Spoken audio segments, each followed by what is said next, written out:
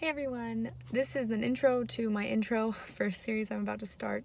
I, I put on the same shirt so it wouldn't be as jarring. Um, I filmed this video way back in January and uh, yeah, it's to be the intro for my birth control series. I just think it's valuable. I don't want to refilm all of that. I'm going to put scripture and reasons why I believe what I believe and what the Bible says about um, birth control and families and um, how we should deal with that as single women. That'll all be a different video. So this one's kind of gonna feel out of place until I finish the series, um, which won't be till later because I'm still uploading all the ones I filmed the past few months. I am probably most excited about this series of all the ones I've come up with just because this is something that's really close to my heart and I think is really valuable information.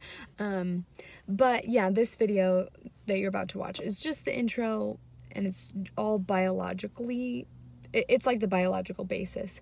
Um, I'm explaining so that when I use terms in the other video, if there's confusion, you can go back to the biological video and be like, oh, that's what that means. Or I basically explain how a uterus works. So that's why it's a little jarring. So just go into this one prepared knowing that. I hope you enjoy the video. Today I would love to talk about birth control and um, why I don't think oh, there's I'm about to change. No, I'm gonna keep going. I'm just gonna do this all the time. Why I don't think there's any form of birth control that is okay. Um, why, well, so I'm gonna walk through the different types of birth control. I'm gonna walk through the most extreme and why they are evil and an affront to God. And I'm gonna walk through the you know smallest form of you know withdrawal and um, things like douching and condoms and, and things that are you know don't affect hormones or anything like that. I'm also going to walk through um, specifically the pill um, not plan b. Well i might talk about plan b but anyways i'm going to talk about everything. So this first episode i thought would be like the more informative side for women who know a little bit less about how the body works, a little bit less about how our uteruses work. To start with, how does ovulation happen? How does the body work in terms of reproduction? The most vital organ in sex, which a lot of people will tell you, um, I don't know if it's true, that's kind of a subjective thing, I'm just gonna talk about facts. A very important organ in sex is your brain. So, um, in specifically in women in ovulation, you have your hypothalamus and it's attached to your pituitary gland, which is like this little guy in your brain. I don't have diagrams or pictures. So this is what you get. So your hypothalamus tells uh, your pituitary gland to send out messenger signals. It tells it by way of like neurochemical messages. I, I don't know the exact science behind that, but so your hypothalamus tells your pituitary, hey, it's time. And then your pituitary gland is like, awesome, cool. I'm gonna send out some other stuff to the body. They send out two hormones. You have the FSH and the LH. So the FSH is the follicle, I can never say it. The FSH is the follicle stimulating hormone and the LH is the luteinizing hormone. So the, I like to use the terms um, what I'm going to use just for this, for funny things. The FSH, the follicle stimulating hormone, um, is like the friendly hormone. So, and, and, the luteinizing is like the loser hormone. So we're going to call them friendly and loser. That's just because they're both vital and we love them both. They're like your two friends, the one that you always want to hang out with and the one that you're like, I want small doses of you. I need you, but not all the time. Uh, that's the loser. That's the luteinizing hormone. okay, bad example. Anyway, the FSH, the friendly one, is the one that basically produces estrogen. It makes us feminine. It makes us what we were supposed to be. Um, not that the LH makes us something that we're not supposed to be. Not at all. Um, so that the FSH basically um, makes estrogen and estrogen makes us feminine femininity makes us love our man and be submissive and sweet and kind to him and it makes us soft and um, I mean, estrogen is what gives us breasts and hips and a high voice and soft skin and a soft face and I can't think of anything else. But uh, right now, um, so that makes us soft and it makes us sweet. It also makes us horny, so it makes us um, love our man in sexual ways and it makes us uh, all that stuff. And then the luteinizing hormone, the LH produces progesterone and that makes us usually bloated for some women, crampy for some women, um, like tired. A lot of times you just want to sleep all day, or it makes you PMS.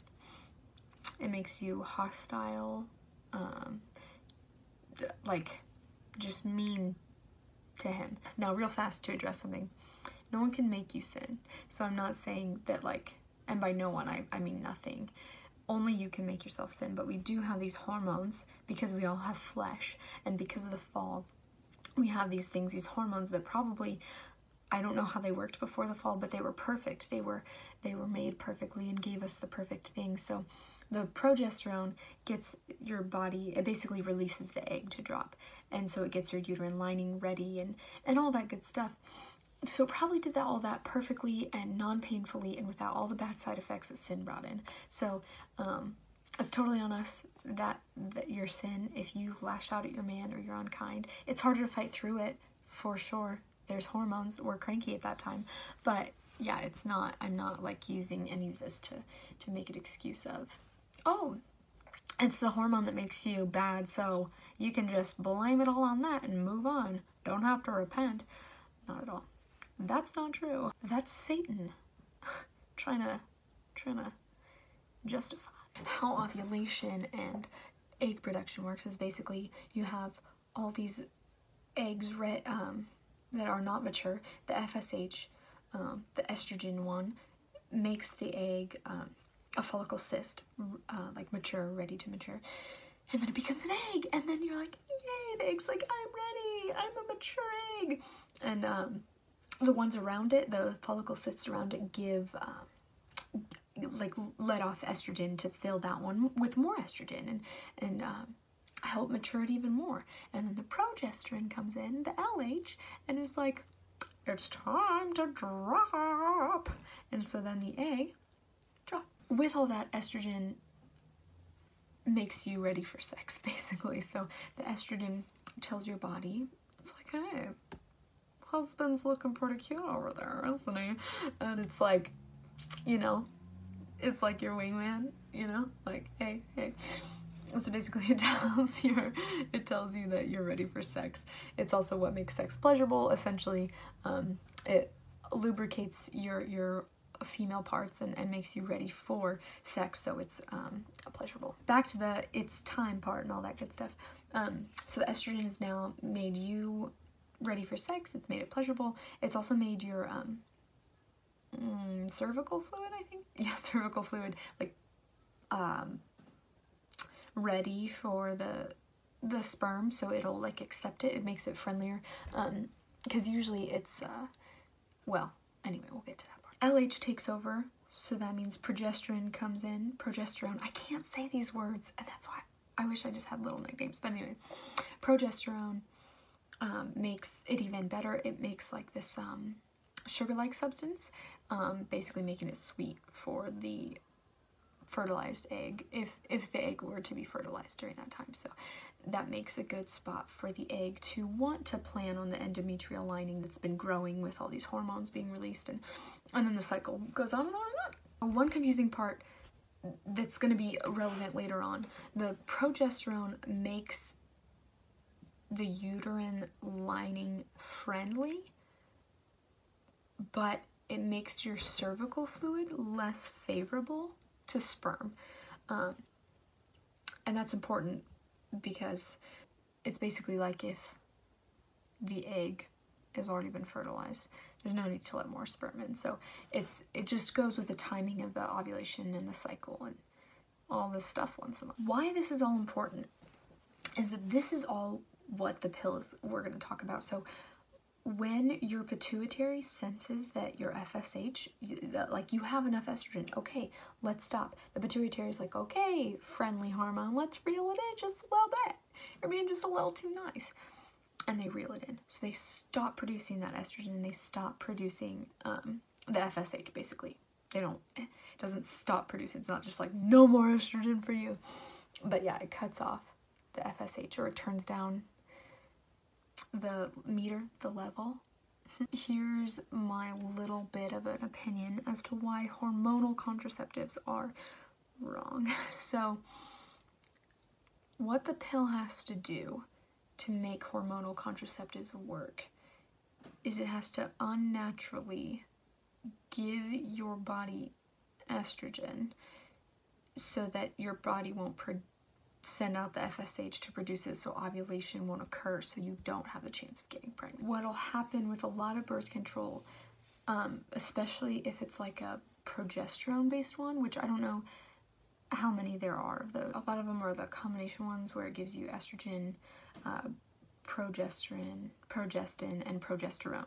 But what happens, like, so progesterone just makes the uterine lining unfavorable for an egg to land. So what happens a lot of times is you've just create an unsafe environment for the already fertilized egg, the already human-made person egg, blastocyst, whatever you want to call it, you've just made it a not comfy home. You haven't stopped the the fertilization. You haven't stopped the the con, con what's the word? You haven't stopped the conception of the egg. So the egg gets fertilized and it hasn't even attached to the wall yet. That is still a person. That's not less of a person just because it hasn't attached to the wall. It doesn't have a home yet. It's a little baby that's looking for a safe place to land, to grow and develop and be safe. And and you've just made the your its home inside of you un, unsuitable essentially. Why some people argue that this is okay is because birth control, why it's better than all these other ones, all these other methods that we could go on and on about. Birth control is better because birth control stops ovulation. It doesn't it doesn't stop the sperm from coming in. It couldn't possibly be bad if your moral argument is that the seed shouldn't be spilled because it's not being spilled. A man can still ejaculate inside his wife. It's just the ovulation isn't happening so that it can never be fertilized, right? So that that throws that argument out. We're safe there. The the problem with any of these is that what the pill does is it stops the FSH from telling the egg to mature, telling the egg that follicle to to yeah, become a follicle cyst. Why the pill is wrong, essentially, after all that science, what the pill does, the estrogen tells your pituitary gland not to really release FSH. So your pituitary gland doesn't give that FSH, doesn't let the egg mature. There's a chance that FSH is still released and so it matures that egg into a follicle cyst, right? So now it's it's able to work its magic, I guess. But then you're like, wait, then how does that not happen a lot more? How do how does birth control not affect a lot more women? How does it um, how does birth control have like an almost 100%, a pretty much 100% way of working? If you use it 100% right, there's almost no way you can get pregnant. There just isn't. That's all true. How that happens and how that's possible is because the progesterone in it is making it so that the LH doesn't trigger it to be like ovulation to start. So that egg can be a mature egg. It just doesn't let it ovulate so it doesn't let it plant. Your estrogen level for your body it's it thinks that it's it has a lot but it's actually really low so the endometrial tissue isn't good for the egg so it's not gonna fertilize and alongside that the progesterone has made the cervical mucus fluid I I don't know it's less favorable to even want sperm. It makes it thicker and so it's harder for the sperm to like go in. I'm gonna name some side effects that I've heard from the pill um, and then I'm gonna read some off that I didn't know about. So side effects we know about. Um, mood swings. So hormones, obviously you're messing with them. Mood swings, irritability, things like that.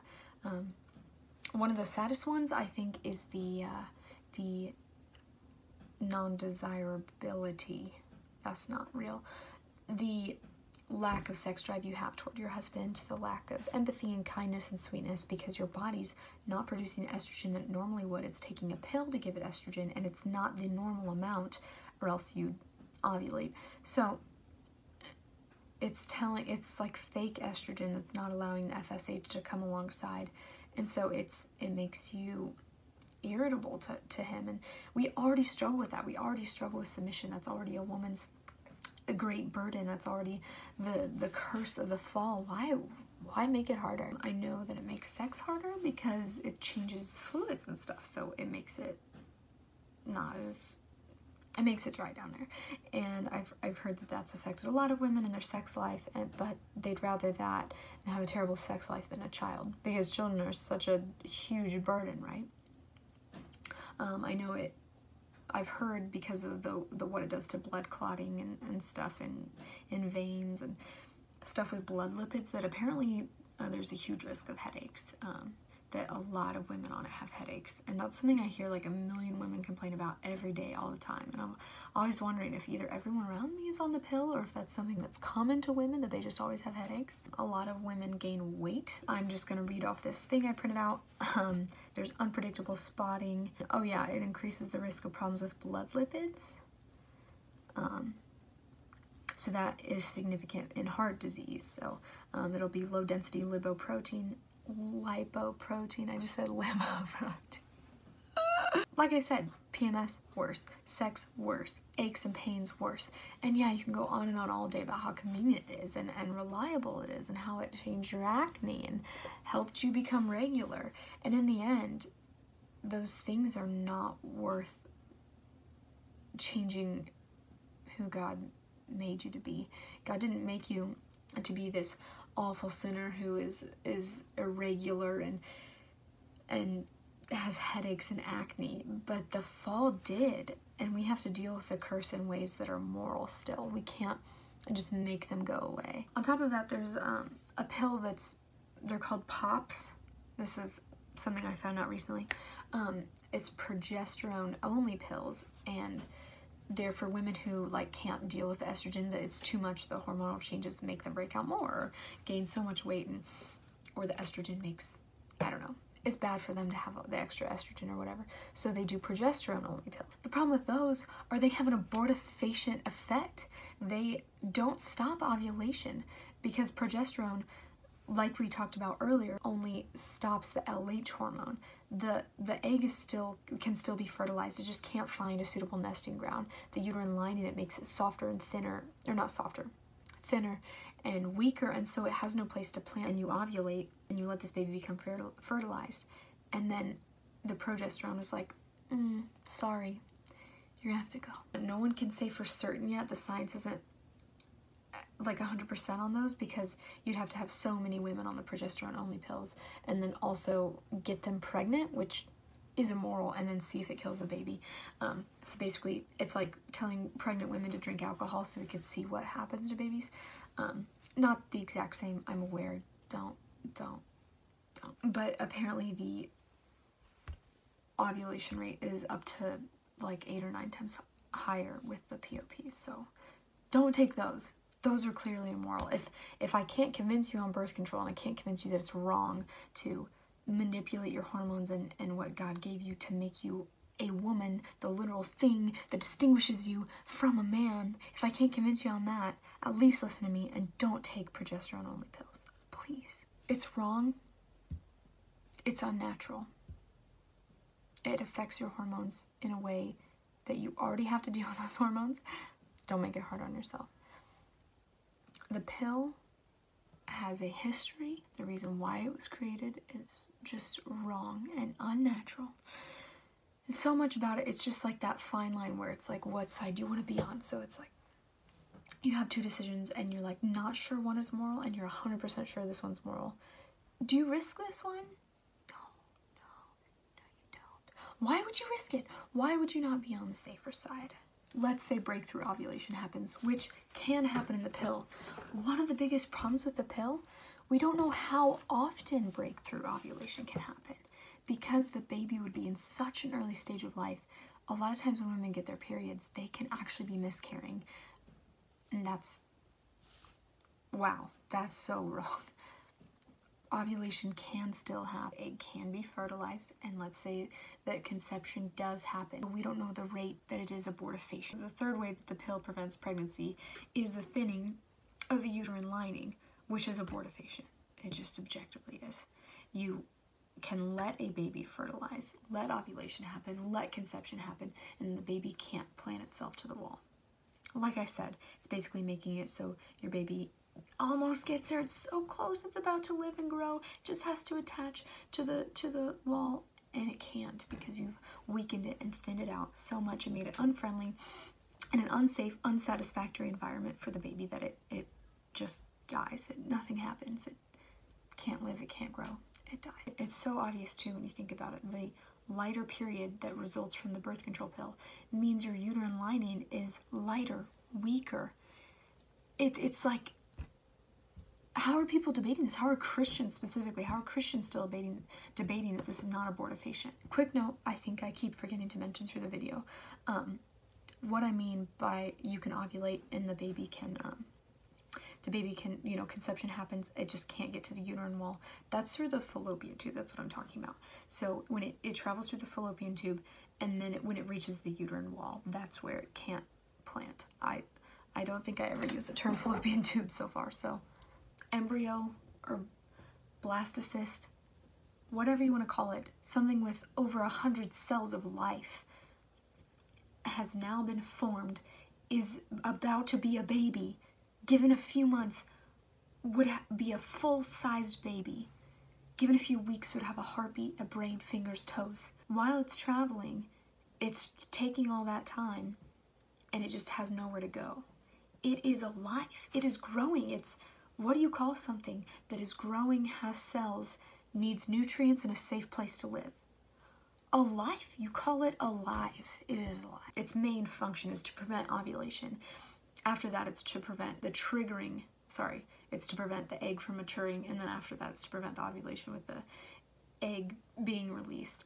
But its third function, it does function to make it an unsafe place for the baby to land. It's abortifacient.